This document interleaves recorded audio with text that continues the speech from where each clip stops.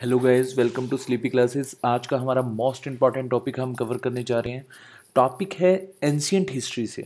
देखिए मैंने अपनी प्रीवियस वीडियो पर आपको बताया था वैदिक एज के बारे में। वैदिक एज जो हमारा था वैदिक पीरियड वो हमारा ख़त्म होता है fifteen hundred B C to sixteen hundred B C तक। आ, उसके बाद से हम स्टार्ट करेंगे कि हमारा जो देश है वो किस तरह से डिवाइडेड था ठीक है? तो आपके बिल्कुल आ, वीडियो की स्क्रीन में आपको दिख रहा होगा इंडिया का जो उस टाइम का मैप होता था कि हमारा जो भारत है, वो सोलह राज्यों में डिवाइडेड था। उस टाइम राज्यों को कहा जाता था महाजनपद और सिटीज़ को कहा जाता था जनपद। तो ये हमें पता होना चाहिए, ठीक है? तो मैप में हम देखते हैं कि वो किस तरह से रिप्रेजेंट करता है हमें उस टाइम का जो मैप पंचाल, कोसला, माला, पाटलिपुत्र, अवंती, काम्बोजा, तक्षशिला। चलिए, अब तक्षशिला जो वर्ड है, उसके बारे में आपको बताना चाहूँगा। तक्षशिला उस टाइम की काफ़ी पॉपुलर यूनिवर्सिटी थी। यहाँ पर हमारे देश से नहीं, पाकिस्तान से नहीं, दूर दूर से लोग पढ़ने आते थे, ठीक है? तो मोस्ट पॉपुलर यूनिवर्सिटी थी उस टाइम की तक्षशिला। और ये राइट नाउ पाकिस्तान का पार्ट है। तो मैं आपको बताता हूँ कि जो हमारा जो देश है, वो उस टाइम किस तरह से डिवाइडेड था। देखिए, यहाँ पर मैंने मेंशन कर रखा है कि महाजनपद एंड उनकी कैपिटल्स जैसे कि अवंती है, अवंती की कैपिटल होती थी उज्जैन। उज्जैन को जो आज की डेट में अगर आप देखो कि इसकी मॉडर्न लोकेशन कहाँ पर है? मध्य प्रदेश और मालवा में। ठीक है? ऐसे ही जो आपका कुरु था, उसकी कैपिटल थी इंदिराप्रस्थ और मॉडर्न लोकेशन क्या है? Meerut and south east Haryana. ऐसी वत्सा वत्सा की जो कैपिटल है, वो है आपकी कौसम्बी और इसकी मॉडर्न लोकेशन कहाँ पर है? अलाहाबाद। तो ये आपको बेसिकली सभी महाजनपद और उनकी कैपिटल पता होनी चाहिए। ठीक है, जैसे काशी है, काशी की कैपिटल क्या है? वाराणसी। एक मोस्ट इंपॉर्टेंट है हमारा पाटलिपुत्र। यहाँ पर मेंशन नहीं मैं कर देता हूँ। मगध है इसकी राजधानी पाटलिपुत्र भी रही है। इसके ऊपर आज काफ़ी चर्चा होगी, क्योंकि यही एक आपका इंपॉर्टेंट जनपद है सॉरी महाजनपद है, जिसके बारे में हम पढ़ेंगे। तो पाटलिपुत्र इसकी राजधानी होती थी मगध की। चलिए तो स्टार्ट करते हैं। देखिए सोलह स्टेट्स हैं लेकिन सोलह स्टेट में आपका इंपॉर्टेंट वन कौन सा हो जाता है? मगध। Uh, मैं आपको एक चीज़ और बताना चाहूँगा जो आप में से हिंदी मीडियम स्टूडेंट्स हैं वो बिल्कुल भी घबराइए मत। जो मेरा कंटेंट होता है वो बेशक इंग्लिश में हो लेकिन मैं बोलता हिंदी में हूँ। तो मुझे ऐसा लगता नहीं है कि आप लोगों को कोई प्रॉब्लम होने वाली है ठीक है? अगर आपको कोई प्रॉब्लम होती है देन आप कमेंट बॉक्स में ज़रूर बताइए ठीक है? तो हम उस थिंग्स को काफ़ी अच्छे से एलोब्रेट करेंगे हिंदी में। ठीक है? चलिए स्टार्ट करते हैं। मगध जो डायने मगध जो एरिया था, उसमें कौन कौन सी डायनेस्टी का रूल रहा और कब से कब तक रहा, कैसे, किस राजा ने उसका विस्तार किया? ठीक है? तो आपके बिल्कुल सामने यहाँ पर एक डायग्राम बना हुआ है, जिसमें मगध बीच में लिखा हुआ है और ऊपर हरियंका, फिर शिशुनाग, फिर नंदवंश, फिर मौर्य डायनेस्टी है ना? डायनेस्टी को बेसिकली हिंदी में वंश कहा जाता है तो घबराने की ज़रूरत नहीं है। चलिए, एक देखिए, यहाँ पर मैं शुरुआत करने से पहले आपको एक चीज़ बताना चाहूँगा कि जो मगध है, मगध में सबसे पहले जो डायनेस्टी रूल करती थी, वो इनमें से कोई भी नहीं है। वो डायनेस्टी के बारे में क्वेश्चन नहीं पूछा जाता, लेकिन मैं फिर भी आपको बता देता हूँ, वो डायनेस्टी थी बृद्रथ। मैं यहाँ पर स्पेलिंग मेंशन कर देता हूँ, बृद्रथ डायनेस्टी। ठीक है, बृद्रथ डायनेस्टी के जो फाउंडर थे, उनका नाम था बृद्रथ। बृद्रथ एक अच्छे राजा थे, और इन्होंने इसका स्थापना करी थी बृद्रथ डायनेस्टी की। इनके बाद जो इनके पुत्र राजा बने, उनका नाम था जरासंध। जरासंध एक स्ट्रॉन्गेस्ट रूलर थे, ठीक है? और अगर आपने महाभारत द एपिक स्टोरी देखी होगी तो उसमें दिखाया गया था कि जो भीम थे, उन्होंने जरासंध का कत्ल किया था। ठीक है? और जरासंध एक स्ट्रॉन्गेस्ट रूलर थे, ये भी आपको याद रखना है। और जो वृद्ध डायनेस्टी के लास्ट राजा थे, उसके बारे में भी आपको पता होना चाहिए। अगर गलती से एसएससी पूछ ले तो ये क्वेश्चन भी आपको क्लियर होना चाहिए तो वो है रिपुंज ठीक है? तो एक डायनेस्टी हमने और कर ली। वृद्ध डायनेस्टी। चलिए हम आगे चलते हैं, जो आज का हमारा मेन टॉपिक है। देखिए, यहाँ पर आपको चार डायनेस्टी दिख रही होंगी, Haryanka dynasty, Shishunaga dynasty, Nanda dynasty and Maurya dynasty. Got it अब हरियंका डायनेस्टी के जो फाउंडर थे, इनका नाम था बिम्बिसार ठीक है? बिम्बिसार ने हरियंका डायनेस्टी की शुरुआत करी थी 544 बीसी में। बीसी को ईसा पूर्व भी कहा जाता है। और ये आप देख रहे होंगे 544 बीसी से लेकर 492 बीसी कैसे आ गया। मतलब ये डिक्रीजिंग ऑर्डर में कैसे चला? देखिए, इसके लिए आपको मेरी फ़र्स्ट वीडियो हिस्ट्री की देखनी होगी। यहाँ पर आपके सारे डाउट क्लियर हो जाएँगे कि बीसी को आप कैसे रिप्रेजेंट करते हो एडी को आप कैसे रिप्रेजेंट करते हो। गॉट इट चलिए आगे चलते हैं। लगभग बिम्बिसार ने 52 ईयर्स तक रूल किया और ये हरिंका डायनेस्टी के फाउंडर भी थे और इनकी जो राजधानी थी इनके टाइम में वो थी राजगिरहा, या जिसको आप गिरिवराज भी बोल सकते हो। ये बुद्धिस्ट को बहुत मानते थे मतलब बुद्धिस्ट कल्चर के फॉलोवर थे बिम्बिसार और इन्होंने जो अपना राजपाट है, उसको कैसे बढ़ाया, ये जानना आपके लिए बहुत ज़रूरी है। देखिए बिम्बिसार ने ही शुरुआत करी थी मैट्रीमोनियल अलायंसिस की। अब मैट्रीमोनियल अलायंसिस क्या होते हैं, मैं तुमको बता देता हूँ, पहले मेरे को एक बार लिख लिख दे देता हूँ आपके सामने मैट्रीमोनियल अलायंसिस और इसको हिंदी में कहा जाता है विवाह संधि, ठीक है? मतलब क्या होता है कि मान लीजिए कि बिम्बिसार को एक एरिए से दूसरे एरिए में अपने राज्य का विस्तार करना था। जैसे कि हम बात करें कि कोशला का जो एरिया था, उसमें अपने राज्य का एक्सपेंड कैसे करा बिम्बिसार ने? बिम्बिसार ने उनकी बेटी के साथ विवाह कर लिया और विवाह करने के बाद उस राज्य को अपने राज्य से मिला लिया। ठीक है? इसको कहा जाता है विवाह संधि मैट्रीमिनल अलायंसेस तो ये इसकी शुरुआत करी थी बिम्बिसार ने।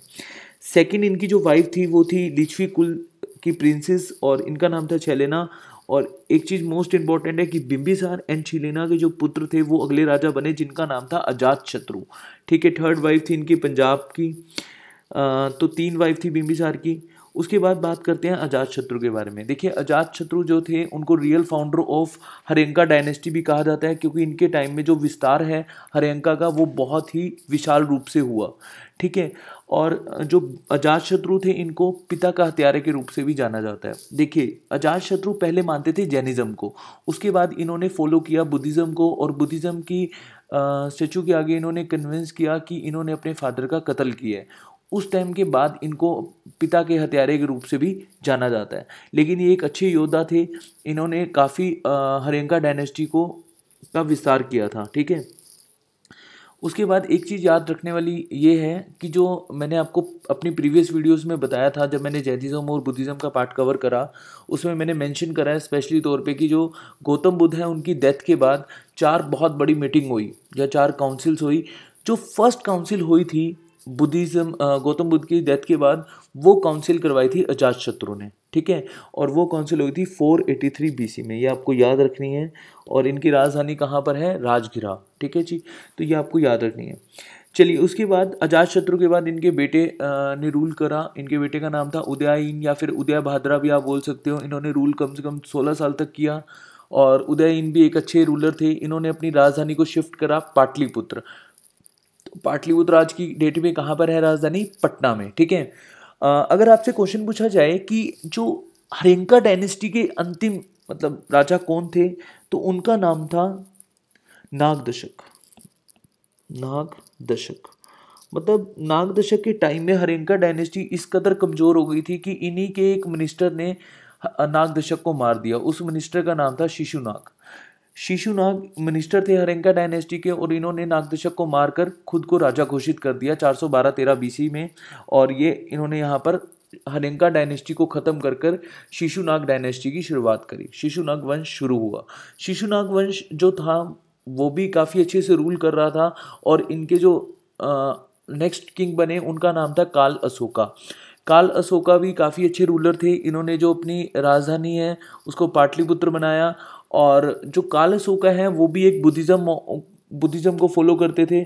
काफ़ी अच्छे से इन्होंने बुद्धिज़्म को फॉलो किया और काल सोका के टाइम में बुद्धिस्ट की सेकंड काउंसिल भी हुई थी और ये काउंसिल हुई थी three eighty three B C में। ठीक है? लगभग सौ साल के बाद। चलिए, अब देखिए शिशुनाग डायनेस्टी के बाद जो बहुत ही स्ट्रॉन्गेस्ट डायनेस्टी आई, उसका नाम था नंद डायनेस्टी नंद डायनेस्टी की शुरुआत करी थी महापद्मानंद ने। महापद्मानंद एक स्ट्रॉन्गेस्ट रूलर थे और इनसे पूरा का पूरा नॉर्थ इंडिया डरता था क्योंकि ये काफ़ी स्ट्रॉन्गेस्ट रूलर थे। आपने एक नाटक भी देखा होगा, यहाँ पर मैं बात करना चाहूँगा स्टार प्लस पे। देखिए, जो नाटक होते हैं, वो एक स्टोरी लाइन का हिस्सा होता है, लेकिन यहाँ पर जो हम पढ़ने जा रहे हैं, वो एक फैक्चुअल इन्फॉर्मेशन है। ठीक है? तो महापद्मानंद एक स्ट्रॉन्गेस्ट रूलर थे। इनकी जो इन्होंने अपनी डायनेस्टी की शुरुआत करी थी three forty five B C to three twenty nine B C तक मतलब ये राजा रहे थे महापद्मानंद महापद्मानंद के बाद इनके सबसे जो बड़े बेटे थे, वो राजा बने धनानंद। धनानंद सबसे बड़े बेटे थे टोटल, अगर पुत्रों की बात करें महापद्मानंद की तो नौ पुत्र थे महापद्मानंद के। देखिए, जब नंद वंश रूल कर रहा था मगध पर तो हमारे भारत पे एक ग्रीक मैसिडोनिया से एक पर्सन चलकर आ रहा था, जिसका लक्ष्य था पूरी दुनिया को जीतना। जिसने अपने बचपन में एक स्वप्न देखा था कि मैं पूरी दुनिया पर लक्ष्य लेकर चल रहा हूँ कि मैं पूरी दुनिया को जीत जाऊँगा। ठीक है? तो एलेक्जेंडर बेसिकली एक राजा का बेटा था। इनके पिता का नाम था फिलिप जो कि मैसीडोनिया के राजा थे। इनकी डेथ के बाद एलेक्जेंडर वहाँ का राजा बना और एलेक्जेंडर ने एक निर्णय लिया कि अब मुझे पूरी दुनिया को जीतना है तो ये निकल चले अपने लक्ष्य की प्राप्ति के लिए। ठीक है? तो धीरे धीरे ये इंडिया के अगर मैं बनाऊँ यहाँ पर इंडिया का मैप तो इसको इंडिया का मैप मान लीजिएगा। वैसे तो नहीं है। ठीक है तो ये इस तरह से इंडिया को कवर करते हुए आ रहे थे। पाकिस्तान, अफ़गानिस्तान का पार्ट लगभग ये जीत चुके थे। तो अलेक्जेंडर ने पाकिस्तान और अफ़गानिस्तान का पार्ट जीतकर अपने एक सेनापति को वहाँ पर एक नियुक्त कर दिया गवर्नर जिसका नाम था सेल्कस निगेटर। इसके बाद हम आगे पढ़ेंगे सेल्कस निगेटर का क्या हुआ और सेल्कस निगेटर के बारे में आ, सारी डिटेल इन्फॉर्मेशन। देखिए जो ग्रेट एलेक्जेंडर था उसका जो अंतिम बैटल हुई वो हुई पंजाब के एक जगह है पोरस। पोरस के राजा के साथ ग्रेट अलेक्जेंडर का युद्ध हुआ। इस युद्ध को बैटल ऑफ़ हाइडसपस या बैटल ऑफ़ झेलम के नाम से भी जाना जाता है, क्योंकि ये युद्ध हुआ था झेलम नदी के किनारे। जो ग्रीक लोग थे, वो बेसिकली झेलम नहीं बोल पाते थे तो इन्होंने उसको नाम दिया हाइडसपस ठीक है?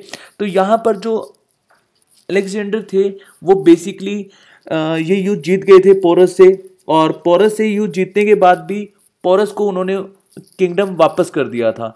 रीज़न इसके लिए दो आते हैं। एक तो जो उनकी सेना थी, वो उन्होंने निर्णय ले लिया कि हम आगे नहीं जाएँगे, क्योंकि काफ़ी टाइम हो गया था उनको अपने घर से चले हुए और उन्होंने बोला कि नहीं, अब हमें अपने घर वापस जाना है। होमसिक टाइप फीलिंग आ गई थी उनको कि नहीं, अब हमें यहाँ से लौट जाना है। सेकेंडली जो पोरस था, उसने काफ़ी अच्छे से फाइट करी थी और काफ़ी अच्छा चैलेंज दिया था। अलेक्जेंडर को इसकी सेना काफ़ी कमज़ोर हो गई थी पोरस किंगडम जीतने के बाद। और जो पोरस का राजा था, इसका नाम पुरुषोत्तम कुरु या फिर पोरस के राजा से जाना जाता है। और बेसिकली जो पोरस का राजा था, हारने के बावजूद भी वो यहाँ, वहीं पर खड़ा रहा और उसने बोला कि अगर आपको मेरा राज्य चाहिए तो आपको मुझे मारना होगा। तो ऐसी दृढ़ निष्ठा देखते हुए जो पोरस का राजा था, उसको वापस राजपाट दे दिया गया एलेक्जेंडर। एलेक्जेंडर बहुत प्रभावित हुआ पोरस के राजा से, ठीक है? और द ग्रेट एलेक्जेंडर ने निर्णय किया यहाँ से वापस जाने का, और ये भी आपको पता होना चाहिए, द ग्रेट अलेक्जेंडर कहाँ से वापस हुआ था? ब्यास नदी के किनारे से। देखिए, एक रीज़न हो रहे हैं यहाँ पर। जो ग्रेट अलेक्जेंडर की वापसी का एक रीज़न हो रहा है, ये धनानंद से डर गया था। धनानंद इस टाइम राजा था, महापद्मा डायनेस्टी से जो, सॉरी, नंदा डायनेस्टी से बना था। ये लगभग बन गया था three twenty nine B C में। तो यहाँ पर जो ग्रेट अलेक्जेंडर था, वो डर गया था धनानंद से। ठीक है? तो ये इसलिए वापस हो गया। और धनानंद वाकई में ही एक स्ट्रॉन्गेस्ट रूलर था। हालाँकि धनानंद को हरा दिया गया था तीन साल ही राजा रहा ये, लेकिन उस टाइम काफ़ी स्ट्रॉन्गेस्ट रूलर था। इसके बारे में हम पढ़ेंगे कि धनानंद को किसने हराया और धनानंद के जो वंश था, नंद वंश, उसको ख़त्म किसने किया? तो एक पॉइंट यहाँ पर मेंशन है कि ग्रेट अलेक्जेंडर के गुरु का क्या नाम है? एरिस्टोटल तो ये आपको याद रखना है मोस्ट इंपॉर्टेंट क्वेश्चन है, पूछ लिया जाता है। और जो ग्रेट अलेक्जेंडर है, उसकी डेथ हो गई थी, तैतीस साल की उम्र में ही सिर्फ़ बीमार हो गया था काफ़ी ये, जब जा रहा था अपने घर की ओर। तो इराक के पास एक जगह है बेबीलोन, यहाँ पर इसकी ड्यू टू इलनेस डेथ हो गई थी, ठीक है? तो काफ़ी ये इंपॉर्टेंट क्वेश्चन है कि इसकी डेथ कहाँ हुई थी, बेबीलोन में और बेबीलोन एरिया कहाँ पर आता था, इराक में, ये आपको पता होना चाहिए, ठीक है जी? तो बहुत छोटी सी उम्र में मर गया था सिकंदर या फिर द ग्रेट अलेक्जेंडर। देखिए, उसके बाद आता है मौर्य वंश। अब मौर्य वंश कहाँ से आया, कैसे इसके उदय हुआ और मौर्य वंश किस तरह से बना, इसके बारे में अब मैं आपको बताता हूँ। एक शॉर्ट नोट स्टोरी।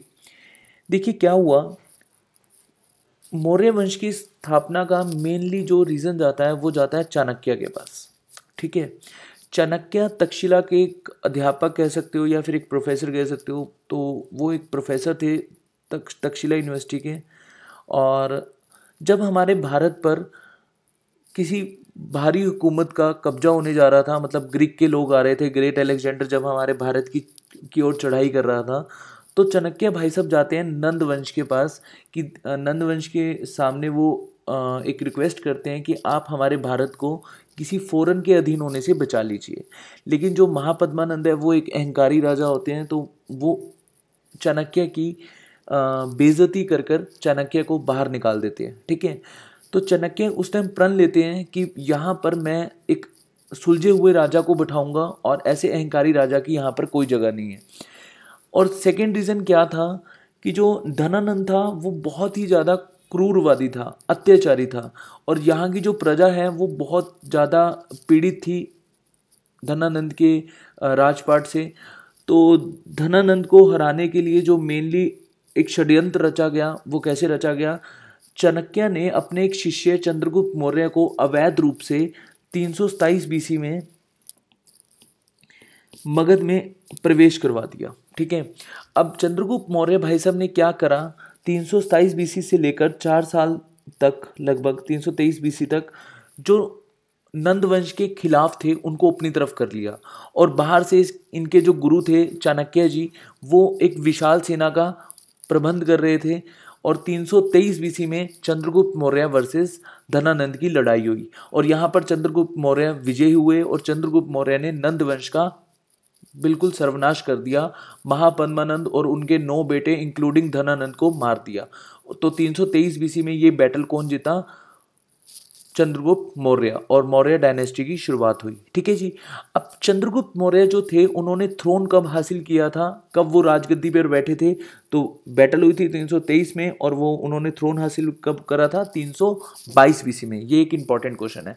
देखिए, चाणक्य को तीन नाम से जाना जाता है। पहली लाइन भी मैंने मेंशन कर रखा है। कौटल्या, विष्णुगुप्त, ये तीनों नाम चाणक्य के ही हैं। ठीक है जी? उसके बाद आगे चलते हैं। और चंद्रगुप्त को ग्रीक के लोग कहते थे। सेंड्रोकोटस ठीक है, ये आपको याद रखना है। चंद्रगुप्त एक स्ट्रॉन्गेस्ट रूलर थे, उन्होंने अपने एम्पायर को काफ़ी हद तक इस्टेब्लिश किया।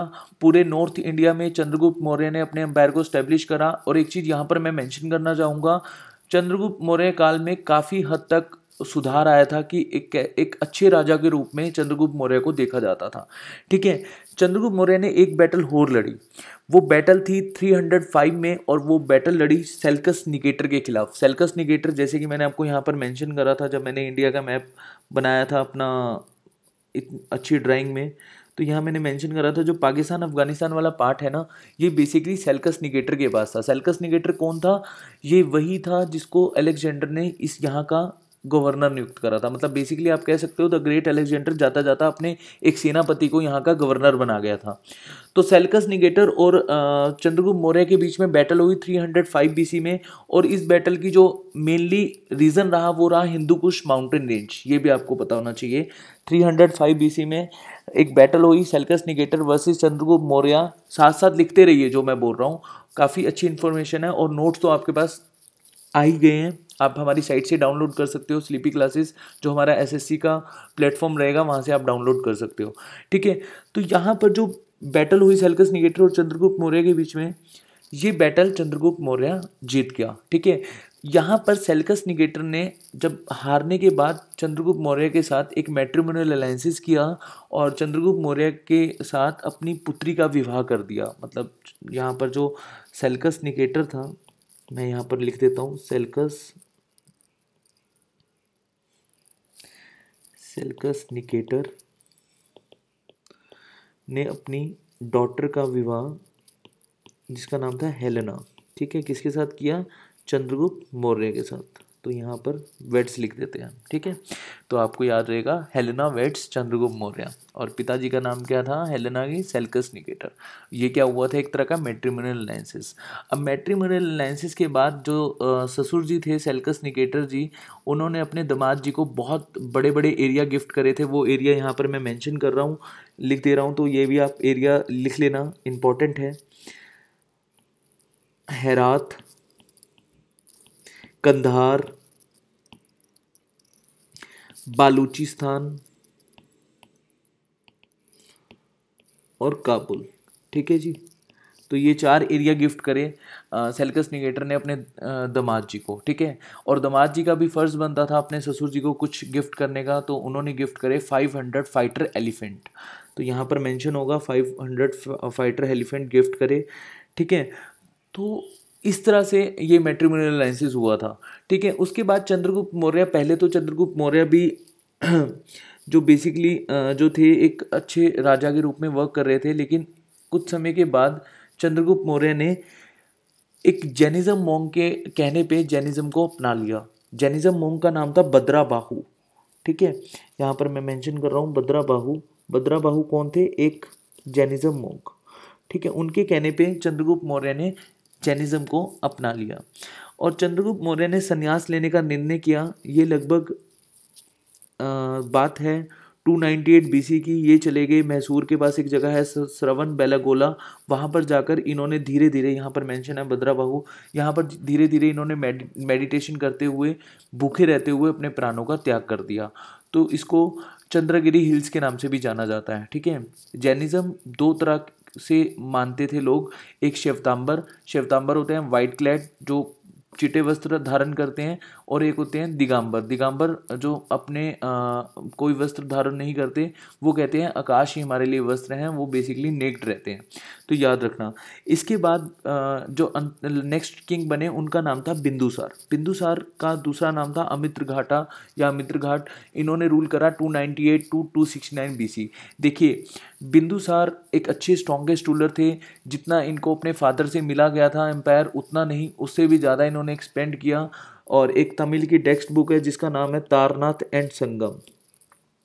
तारनाथ एंड संगम एक तमिल की टेक्स्ट बुक है, उसमें मेंशन है, और तमिल टेक्स्ट बुक मैं यहाँ पे लिख दे रहा हूँ। इसमें मेंशन है स्पेशली तौर पे कि जो बिंदुसार है, उसने 16 स्टेट्स अप टू मैसूर तक अपने राजपाट को बढ़ाया। ठीक है? और बिंदुसार के टाइम में आप कह सकते हो कि पूरा का पूरा भारत बिंदुसार के कब्जे में था। एंटायर इंडिया या इंडिया के सब कॉन्टिनेंट्स पूरे के पूरे मौर्य वंश के कब्जे में आ गए थे। और बिंदुसार भी जैनिज़्म को मानता था। जैनिज़्म के एक सेक्ट था जिसको ये मानता था आजीविका सेक्ट ठीक है, ये मैं मेंशन कर रहा हूँ, अजीविका सेक्ट अजीविका सेक्ट बिल्कुल इसी तरह होता था कि आप दुनिया में क्या लेकर आए हो, क्या लेकर जाओगे, ये इस तरह की बातों को फॉलो करते थे बिंदुसार जी। और बिंदुसार स्वीट वाइन पीने के बहुत बड़े शौकीन थे। तो इन्होंने एक अपने सीरिया के फ्रेंड जिनका नाम था एंटिकस वन सीरिया फ्रेंड या सीरिया किंग जिनका नाम था एंटिकस वन उनको रिक्वेस्ट करी कि भाई साहब, आप मेरे दरबार में वाइन ड्राइड फिक्स और एक फिलोसफर को भेज दीजिए। लेकिन यहाँ पर एंटिकस वन ने बोला कि जो फिलोसफर हैं, वो हमारे लॉ एंड लीगल के खिलाफ है। ये तो नहीं हम बेच पाएँगे, लेकिन हम वाइन और ड्राइड फिक्स को भेज देंगे। ड्राइड फिक्स क्या होती है? आपने खाया होगा या नहीं खाया तो आप नज़दीकी के करियाना स्टोर में जाना, उनको बोलना, अंजीर या ड्राइड फिक्स दिखा दीजिए तो आपको पता लग जाएगा कि एग्जैक्टली ड्राइड फिक्स क्या होती है और कैसी दिखती है। ये एक तरह का ड्राई फ्रूट ही है। चलिए तो जो सीरिया के बेस्ट फ्रेंड थे एंटी के स्वान बिंदुसार के, उन्होंने एक अपने एम्बेसडर को भी भेजा। एम्बेसडर का नाम था डायमकस ठीक है? डायमाकस याद रखना, एक डायमाकस आए थे बिंदुसार के एम्पायर में। ये ग्रीक एम्बेसडर या फिर आप सीरिया एम्बेसडर भी लिख सकते हो, एक ही बात है। अब बिंदुसार नहीं चाहता था कि उसका बेटा अशोका राजा बने। बिंदुसार क्यों नहीं चाहता था? बेसिकली बिंदुसार चाहता था कि इसके जो बड़ा बेटा है, वो राजा बने। और अशोका राजा ना बने। अशोका सेकंड नंबर पे इसका पुत्र था। ठीक है जी?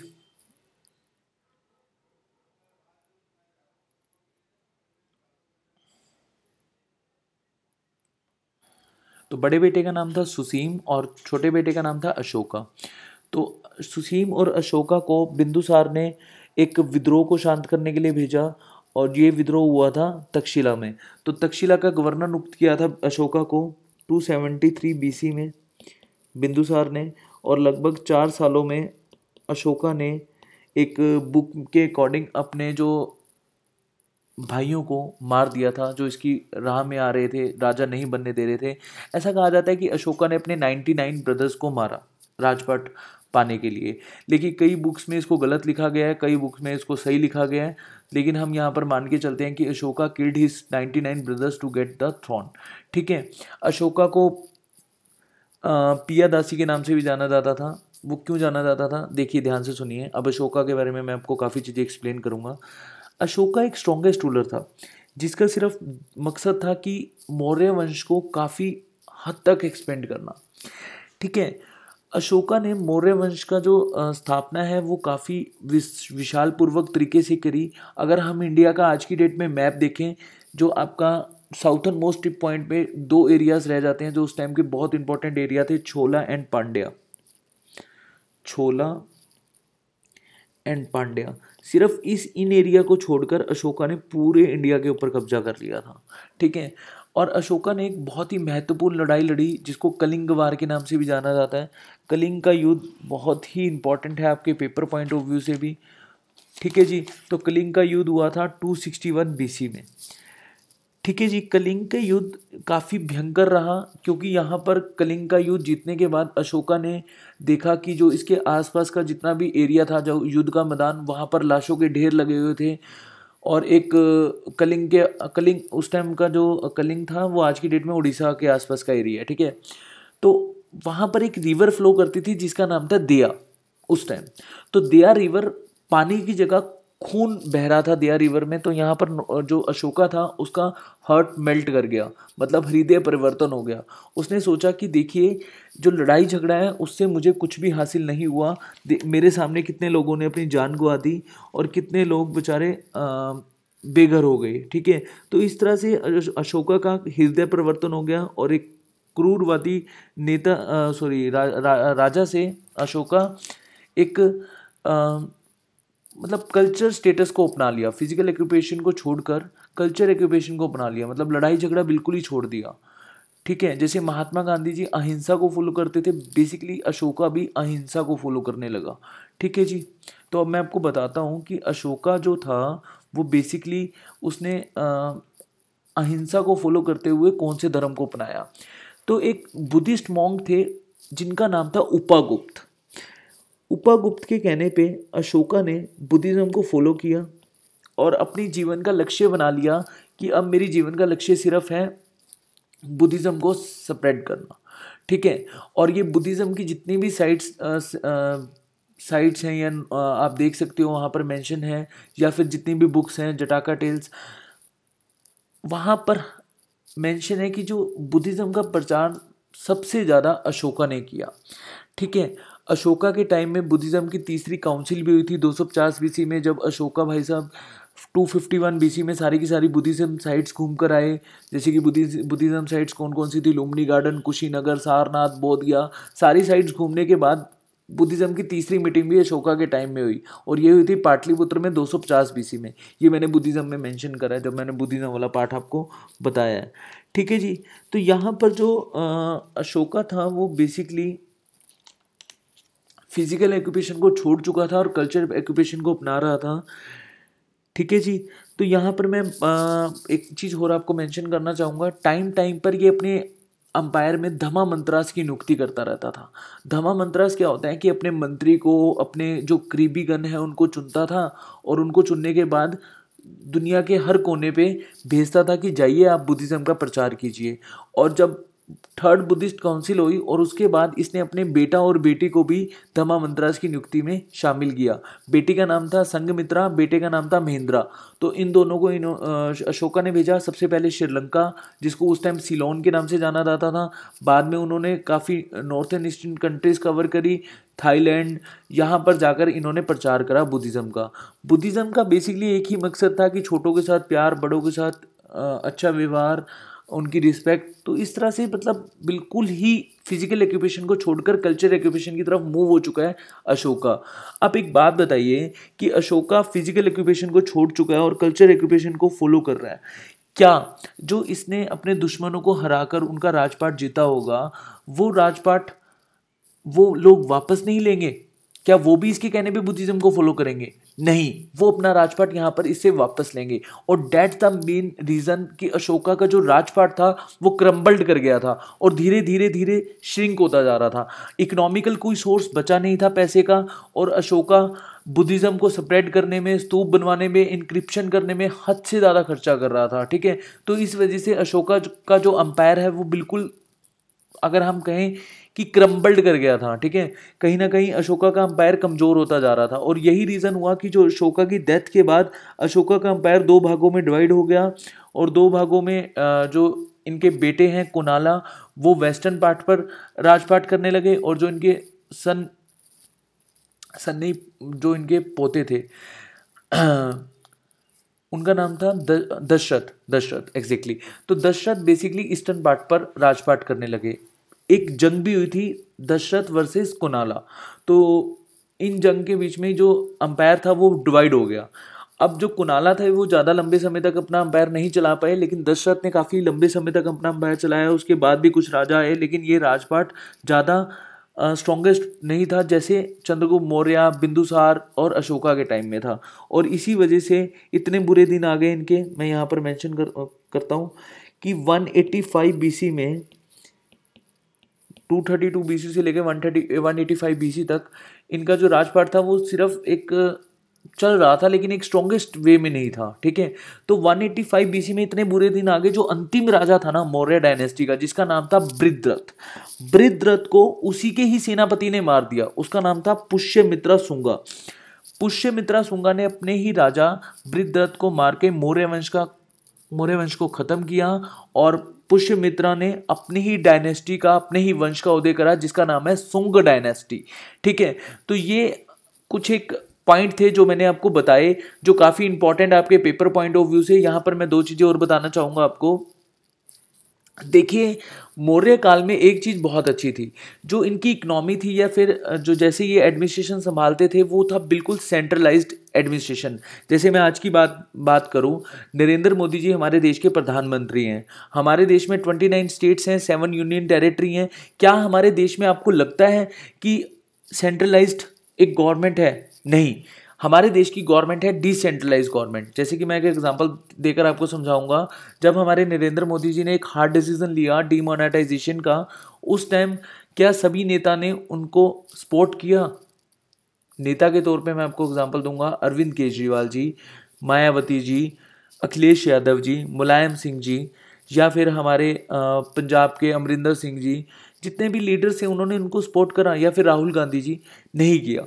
तो ये एक तरह की इकनॉमी होती है डिसेंट्रलाइज लेकिन जो मौर्यस थे उनके टाइम में सेंट्रलाइज्ड इकोनॉमी थी। मतलब जैसा राजा ने बोल दिया, जहाँ जहाँ इनका राजपाट था, वैसा ही डिसीज़न फॉलो किया जाता था। ठीक है? और हमें सबसे ज़्यादा जानकारी कहाँ से मिलती है? मौर्य एम्पायर की। फ़र्स्ट वन कौटल्या के द्वारा एक बुक लिखी गई थी, अर्थशास्त्र। ये थर्ड बेस्ट पे है। उसके बाद मेगासनीसिस मेगासनीसिस के द्वारा बुक लिखी थी इंडिका ये सेकंड बेस्ट पर है और सबसे बेस्टेस्ट है अशोका के द्वारा इंस्क्रिप्शन अशोका ने बुद्धिज़्म का प्रचार करते हुए इंस्क्रिप्शन करवाया और इंस्क्रिप्शन करवाते करवाते ऐसा कहा जाता है कि अशोका एक ऐसा राजा था जो अपनी प्रजा के साथ डायरेक्ट इंस्क्रिप्शन के थ्रू वार्तालाप करता था। ठीक है, ये पॉइंट बहुत इंपॉर्टेंट है और एक पॉइंट मैं आपको बताना भूल गया, आपने सोचा होगा कि ये इंडिका और मेगासनीसिस कहाँ से आ गए अब सुनिए। जब सेल्कस निगेटर और चंद्रगुप्त मौर्य का युद्ध हुआ था, थोड़ा सा मैं रिकैप करूँगा यहाँ पर। चंद्रगुप्त मौर्य का युद्ध हुआ था तो आपको शायद याद होगा मेट्रीमोनियल अलायंसिस हुआ था, मैंने अभी आपको पीछे बताया। तो मेट्रीमोनियल अलायंसिस की अलायंसिस के बाद सेल्कस निगेटर ने अपना एक राजदूत बनाकर भेजा था चंद्रगुप्त मौर्य के एम्पायर में, वो राजदूत का नाम है मेगेसनीसिस मेगेसनीसिस ने चंद्रगुप्त मौर्य के बारे में एक बुक में वर्णन किया था, उस बुक का नाम है इंडिका। राइट नाउ ये बुक हमारे पास अवेलेबल नहीं है। ये बुक की जानकारी हमें इस तरह से मिली, ये बुक हमें फ्रेगमेंट्स के तौर पे मिली है। फ्रेगमेंट्स बोले तो टुकड़ों में अवेलेबल है, पूरी तरह से ये बुक हमें नहीं मिली। ठीक है थैंक यू गाइस आज का लेक्चर हमारा था चंद्रगुप्त मौर्य के बारे में और नेक्स्ट लेक्चर होगा गुप्त अंपायर के बारे में। ठीक है थैंक यू क्लास